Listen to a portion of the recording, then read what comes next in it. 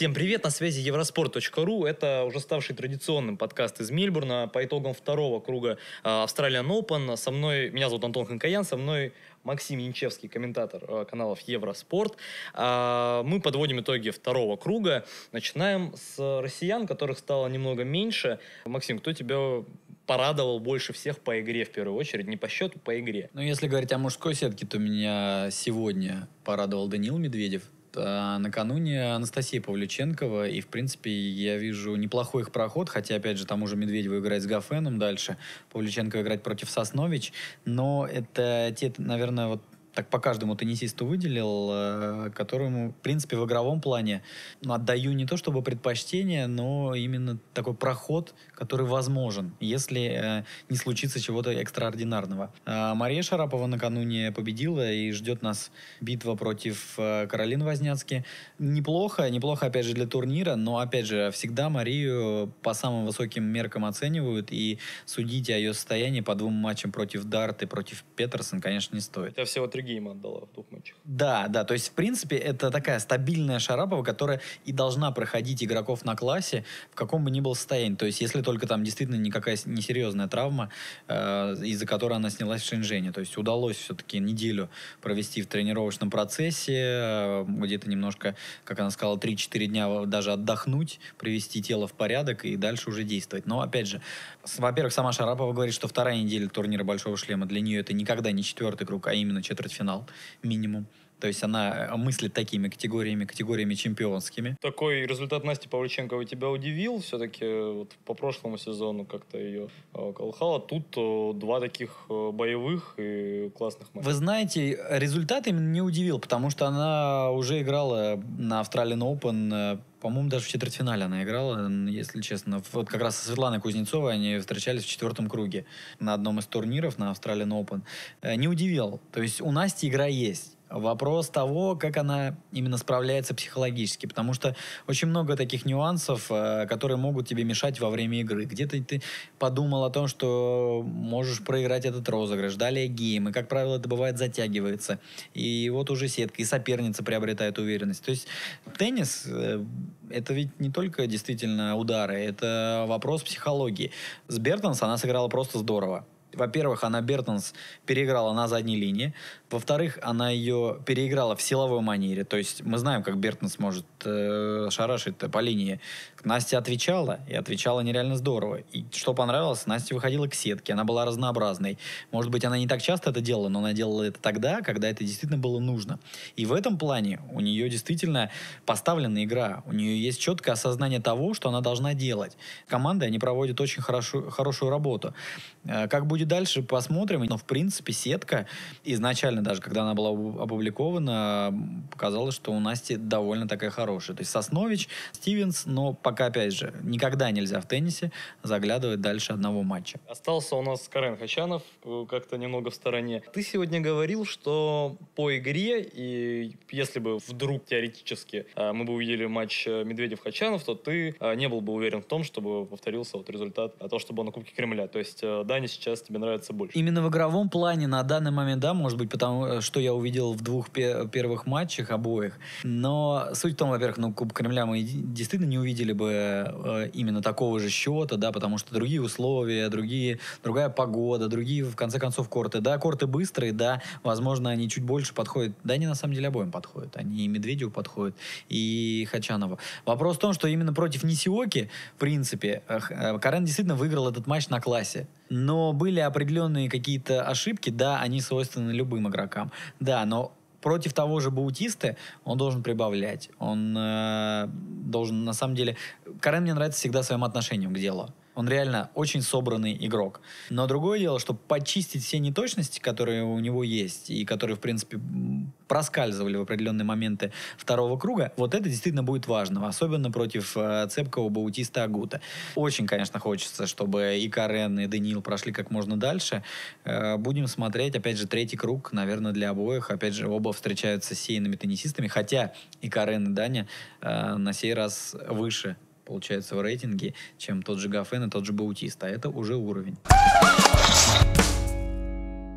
Пожелаем удачи нашим ребятам в третьем круге. Второй круг э, получился почти без потерь среди э, ребят, скажем, от которых мы ожидали выхода в третий. Из тех, кто вылетел, кого ты не ожидал? Ну, наверное, в большей степени я не ожидал Андерсона поражения от Тиафо. И как раз-таки э, вот это молодое поколение, которое усиленно пиарится, оно уже вот действительно на пятки наступает.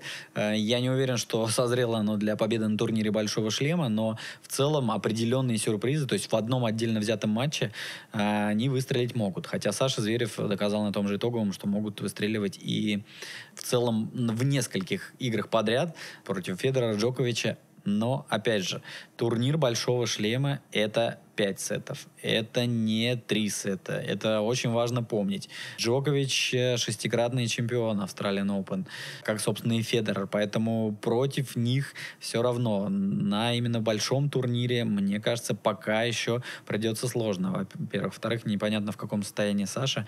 Будем надеяться, что повреждение или травма, что это было, когда он отказался от тренировок до Австралиан Open в один из дней, что ничего серьезного не будет. Именно Андерсона не ожидал, потому что Андерсон, так, знаете, такой, хочется сказать, тихоход, хотя тот теннис, который он показывает, не позволяет мне такое выражение к нему применить, но вот он спокойно свой минимум четвертьфинал знает, добирается на любом турнире Большого Шлема. Ну, может быть, на Ролан Гарос шансов чуть меньше обычно. Но здесь, во втором круге, он явно не добрал очков, э, при том, что Андерсон в начале сезона выиграл турнир э, в Пуне, э, выиграл выставочный турнир, где играли... Нет, выставочный он, я немного, да, перепутал, но официаль, в официальных матчах не проиграл. На выставке он э, Джоковичу проиграл в Абу-Даби. Но суть в том, что в целом он начал этот сезон довольно добротный. Тут поражение от Тиафо, надо отдать должное, конечно, и самому Фрэнсису. Э, это что касается неожиданности. И второй сейный игрок, который вылетел, это Доминик Тим, но тут я скажу, что для меня это скорее ожидаемо было. Тут как раз-таки противоположность Андерсону. Три поражения на выставочном турнире. Да, можно говорить о том, что к нему несерьезно относится. А, но два поражения от Карена Хачанова, одно поражение от э, Хёна Чона. Это только на выставке. И дальше в Дохе он проигрывает в первом круге Пьеру и Югу Эрберу не хватило, а, игровой практики и, в принципе, притирки такой к соперникам. Возможно, к некоторым, да. Плюс он э, сыграл 5 сетов с Пером и сказал, что в третьем сете уже так немного где-то, может быть, расслабился, где-то почувствовал какую-то э, легкость. Ну вот не знаю, что это было. То есть вряд ли это было именно то, что тело дало себе знать, что он так напрягался в двух сетах, и затем в третьем уже подсел немного. Э, хотя, возможно, это тоже. И представляете, после такого долгого пятисетового матча, который закончился в третьем часу ночи по Мельбурну, он чувствовал себя здорово на следующий день, а в день игры непосредственно в день матча второго круга против Алексея Попырина, сказал, что, во-первых, в день игры э, тело начало просто нереально болеть, и по ходу матча тело просто продолжало ныть, э, эта боль нарастала еще больше и больше. Он сказал, что с, таким, с такой ситуацией, с таким состоянием э, нет смысла продолжать встречу. И, в принципе, снялся по ходу третьего круга. Но я не буду скрывать, что я правда сказал, что либо э, в первом круге, либо во втором Доминик Тим вылетит. Э, я думаю, что это даже ты, Антон, подтвердишь. А суть в том, что в первом круге, да, это были пять сетов, но во втором это было, к сожалению, э, физическое как казалось, неготовность. То есть Попырин чего-то такого сверхвыдающегося не сделал. Он просто воспользовался тем, чем воспользовался бы любой игрок, там, который, который в принципе выступает на турнире Большого Шлема. Или нет? Вы знаете, когда человеку 19 лет, э, у всех же, у них, у пацанов, они, у них глаза горят. Они действительно могут в одном матче, да, им не хватает какого-то опыта, но вот этот драйв, кураж, на котором ты играешь, тем более на глазах родной публики, да, у него русские корни, русские родители, но они переехали в Австралию в 98 году, году, а в 99-м э, родился Алексей. То есть он, в принципе, и по-русски-то говорит.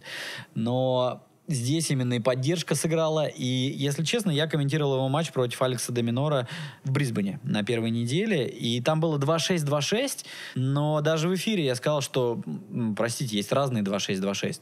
Можно выходить на корт и все стрелять по аутам. И получить свои условные 2-6, 2-6. А у Алексея в его 19 у него есть игра, у него есть удар справа, он ориентируется на Дель Потро. Ну, как говорится, кто бы не ориентировался на Дель Потро, да, если есть именно сила. У него нет завершающего удара. А этот завершающий удар — это фактор как раз-таки матчей. Фактор того самого опыта, того самого мяса в ATP-туре, которое, в принципе, должно быть, и которым он начнет а, обрастать. А, Папырин, кстати, тренируется в Академии Патрика Мурутаглу. И сегодня так э, пары фраз еще до начала матча с э, Мурутаглу мы перекинулись. И он говорит, да, действительно, тренируется и хороший парень. И, в принципе, Патрик обращает внимание на молодежь. У него есть определенные такие теннисисты, которые могут заявить о себе в будущем, в том числе и у девчонок, и у парней. Но я не могу согласиться, что он ничего выдающегося такого не показал. Я не видел, не, опять спросил, же, матч. Смотри, я... я не видел матча не могу судить. Но я видел его игру, тот теннис, который, в принципе, у него есть. Если он при тех же 2-6, 2-6 от Доминора показал хотя бы такую же игру и хотя бы э, были у него завершения комбинаций. Надо посмотреть, сколько активно выигранных мячей у него. Это тоже важно. Может быть, там действительно всю тим ошибался. И статистику надо глянуть. Но мне нравится его игра. Мне нравится именно вот то, как даже как он себя вел. То есть он вроде летел 2-6, 2-6, но даже по ходу встречи он не кидал ракетки, он спокойно шел на следующий мяч, он настраивался. То есть вот этот, не знаю, мне нравится, когда люди сосредоточены на своем деле. И когда они, э, наверное, свое дело знают. И я уверен, что у него, в принципе, впереди неплохая карьера. Вопрос именно как сейчас. Это, по сути же, его первый сезон. Да, ему давали валкард на Australian Open, да, он был чемпионом юниорского Ролан но не было такого полноценного сезона. Посмотрим, как дальше. Сейчас он уже вышел в третий круг. Надо смотреть, что там по рейтингу. Войдет ли он в сотню, а сотня это совершенно другие. Ну, сотня, наверное, рано. Там, наверное, все-таки сейчас вторая сотня. А валдкарт ему дали, но уже третий круг, уже. И причем Тима выбил. Надо смотреть, с кем он дальше играет. То есть это тоже важно. Я надеюсь, что у него все будет здорово. И Попырин. Попырин будет играть э, с Люкапуем спокойно может проходить. То есть Пуй, э, он сейчас тоже в поиске своей игры. Он тренируется под руководством Амели Маразмо, но э, оба они говорят, дайте нам время. Потому что Пуй действительно ищет. Дальше, да, дальше, если он Пуй пройдет, но это уже будет, на самом деле, довольно такой потолок, дальше будет возможно, и вполне вероятно Чорич.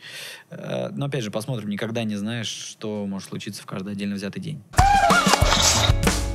топы, про них вообще есть что сказать или все слишком заурядно было? Ну, топы я имею в виду топ-5, э, женский и мужской. Симона Халеп снова были проблемы, Рафаэль Надаль, э, Роджер Федерер вроде бы очень заурядно свою работу сделали. А что-то такое запомнилось в этом круге или все было очень буднично? Ну, опять же, не думайте, что мы тут прохлаждаемся и сидим целый день матчи смотрим. Э, наоборот, бегаем по интервью. То есть, ну, даже на Род Левер Арену еще ни разу не удалось выбраться, так, чтобы действительно все цело посмотреть смотреть э, какой-то матч. Да, комментировал Тима Пэра, но это другой разговор. А именно с центрального корта, на который ставят всех топ-игроков, э, ничего глянуть не удалось. Какие-то отдельные фрагменты, хайлайты, где-то в лайве пару геймов. Посмотрим. Опять же, топы, для них первые два круга — это такая разминка так или иначе. Когда тебе не встречается сеянный игрок, когда ты чувствуешь себя в роли, э, в роли фаворита, когда соперник уже как раз-таки думает, ой, я сейчас выхожу против самого Роджера Федерера или против самого Надаля. На арену Рода Левера. На арену Рода Левера, на глазах Рода Левера. тысяч. Ну, то есть, суть в том, что, конечно, ну, такое часто, конечно, говорили больше про, э, наверное, Рафаэля Надаля, хотя к Федереру это тоже применимо, что, в принципе, 90% теннисистов, их соперников, они проигрывают в раздевалке раздевалке. В женском туре так говорят про сирену, да? Но действительно говорят про великих. Когда ты выходишь, а у тебя коленки трясутся. Когда у тебя в руках ракетка, она просто, ну, не знаю, мечется. Когда ты не можешь поймать мяч от болбоя. Ну, то есть много факторов, много деталей, на которые даже можно во время матча обращать внимание, да на разминке. Я очень люблю пятиминутные разминки, когда их удается посмотреть и сделать какой-то вывод, как человек, подал ли он все мячи, не подал ли, куда он направляет. Хотя они все, конечно, игровой план соперников изучают, но, тем не менее, даже по разминке можно сказать, готов ли человек противостоять топу или нет. Хотя не всегда, конечно, это удается там со стопроцентной точностью, но тем не менее. Это были будничные победы, действительно, и как раз-таки для них проверка уже начнется с третьего, четвертого круга. Ну, так говорим, все, у Симона Халеб были проблемы, если Да, было. я в основном, да, конечно, говорил сейчас больше про мужской тур. А, Халеб. Халеб посеяна под первым номером, но у нее непростая сетка, это первое. Второе, у нее нет в боксе тренера, Даррен Кейхел, который просто, знаете, мне кажется, какую-то космическую такую уверенность вселял. И на протяжении нескольких лет, что они сотрудничали, так э, просто пронзал ее взглядом. Хотя, опять же, он сидел довольно внешне спокойным, но, тем не менее, он смотрел на нее и говорил, ты можешь, ты можешь. То есть он забирал от нее неуверенность, которая, в принципе, после трех финалов Большого шлема, два на Ролан Гарос, да, один на Австралиан Open, поражение от Возняцки в прошлом году, он сумел довести ее до титула до, возможно, самого желанного титула в ее карьере. У нее были проблемы. Она завершила сезон досрочно. Она сейчас не в лучшей физической форме. Она вытаскивает два, два матча, она вытащила на морально-волевых, и это здорово. Это, за ней интересно наблюдать. У нее дальше по сетке две сестры. И я не уверен, что обеих она пройдет. Да, возможно, с Винус в игровом плане у нее будет какое-то преимущество, а, но против Сирены, мне кажется, Сирена, разбывшивавшаяся после двух поражений в финалах турнира Большого Шлема, мне кажется, она мотивирована, возможно, даже как никогда. Даже больше, чем вот непосредственно после возвращения, ты имеешь? После возвращения Сирены? Да. Ну, она, в принципе... после поражения... Нет, она, в принципе, мотивирована. Человек такого уровня возвращается только за одним, чтобы побеждать на турнирах Большого Шлема. Ну, Другой такой задачи не рекорд, да. Да, дело... Если честно, дело... Мне кажется, кажется, хотя, может быть, Сирена, конечно, ну, не, не знаю, что она, не думаю, что она непосредственно, вот, мне нужно действительно побить рекорд, чтобы стать самой легендарной, самой из всех. Да, это цифры, о которых ей все время напоминают на пресс-конференциях. Она возвращается, чтобы быть первой. Это цель любого чемпиона. Почему уходит Марой? Почему он э, после 16 месяцев мучений сквозь слезы принимает такое решение? Потому что он понимает, что его тело не способно сейчас э, выдавать максимум, который позволит ему побеждать на турнирах Большого Шлема а он уже побеждал на этих турнирах, и все остальное у него есть. Кубок Дэвиса, Олимпийское золото, турниры серии Мастерс. Такие люди, когда они возвращаются в тур, Мары, Сирена, неважно, те же Джокович, Федоров, Надаль, они же все проходили через травмы, кто-то в меньшей степени, кто-то в большей. Спустя полгода, год они возвращались, они возвращаются, чтобы побеждать. И когда ты чувствуешь, что ты этого не можешь сделать, ты уходишь. Уходишь именно по своим конечно, физи по физическому самочувствию. Сирена возвращалась в тур с одной целью, чтобы победить. Возвращается в тур с этой целью и Виктория Азаренко. Просто у кого-то действительно это занимает чуть больше времени. Но у Виктории, к сожалению, еще всякие судебные тяжбы ее выбивают. Это ну, такая жизненная ситуация, она не может не влиять. Когда у вас что-то случается в семье, что-то не самое радостное, вот, и, в принципе, вот эти разбирательства за сына, конечно, они у нее отнимают дополнительные эмоции. Конечно, они мешают ей готовиться, речь про Азаренко. А Сирена мотивирована, да, мотивирована доказать, ну, то есть у нее есть вот эти амбиции именно доказать и себе, и окружающим, и борется она за права всех женщин, э, всех народов, но она хочет, она действительно хочет победить. Теперь э, главная вывеска третьего круга, может быть, несколько. Э, главное, вот я назвал ее главной, окей, самое интересное, может быть, она не будет супер топовой там по э, именам, но за которой обязательно э, нужно следить, если вы что-то хоть понимаете в теннисе, то есть вы лучше, чем я. А, то есть ты хочешь, чтобы я сейчас сказал Алексей Попырин против Люки Пуи? Ну, ну нет, ну давай, давай совсем без ну, в артхаус не уходить, такое, что-то э, такое интеллектуальное кино для каждого. На самом деле здесь э, в третьем раунде кино для каждого хватает. Э, то есть нельзя сказать... Мы говорили, ну, э, Шарапова-Возняцкий мы уже поняли. Мне очень интересно будет глянуть матч Доминор-Надаль. Во-первых, это первая ракетка Австралии, против э, легендарного Рафаэля Надаля. Это первая ракетка, которая играет э, с той интенсивностью, речь про Алекса, которая вызывает симпатию. То есть, в принципе, у Австралии сейчас много игроков, ну, тем более на родной земле, которым в том числе дают валдкарт, которые могут выстрелить, выстреливают в какой-то момент. Но Деминор нацелен. Он такой, знаете, своеобразный антипод Кириусу. И то, что на этом турнире как раз-таки Доминор проходит дальше, а Кирис выбывает в первом круге, это возможность и Нику пересмотреть свое отношение к делу. Да, не повезло где-то с сеткой, что он попал на Раунича. Но сейчас Доминор ставится в главу во главу именно тенниса Австралии. Почему Хьюит сидит э, в боксе и Кирис на это, ну, не жалуется, он так подтрунивает, мне кажется, над э, э, Хьюитом. Он консультирует Хьюит Доминора. И он, в принципе, Доминор забирает какие-то вещи. Вот такая, знаете, легкая такая нервозность, и в том числе легкий драйв на корте. Такая интенсивность, которая играет Доминор. И это интересно. Да, он, правда, накануне чуть Лаксонину не проиграл, но это вопрос, как, как сказал тренер э, Джоковича, Мариана Вайда, это вопрос того самого опыта. То есть он еще не созрел. 19 лет, да, сейчас турниры Большого Шлема выигрывают э, те, кому за 30, э, все еще большая тройка на коне. Поэтому, да, этот матч будет интересный. И Чилич Свердаска матч тоже интересно. Вердаска в Австралии он всегда творит. Мы же помним тот легендарный полуфинал 2009 года против Рафаэля Надаля, когда просто какой-то космический уровень тенниса. Если вдруг вам сейчас всего 16 лет, и вы слушаете нас, а девятый год был... Я вот слушаю. Был, простите, а вот я как раз 6 было в девятом, нет? А, если вы не видели тот матч, просто возьмите попкорн, и 30-минутную нарезочку перед сном, нарезочку не колбаски, а нарезочку хайлайтов можно спокойно брать и смаковать, потому что тот матч — это ну, это легендарный матч на Australian Open. Все, и берите попкорн и смотрите третий круг Australian Open. Мы вернемся через день буквально снова здесь. Э, мы прощаемся. прощаемся. Да нет, не прощаемся. Работать мы завтра будем. Просто идешь отдыхать, а завтра снова выходишь на работу. Я иллюзию, иллюзию какую-то создаю. Иллюзия Все. обмана, да. Все, всем пока. Да, третий круг Australian Open ждет нас в новом удивительном дне. Спасибо, смотрите Евроспорт э, и, соответственно, все матчи Australian Open. Услышимся, пока.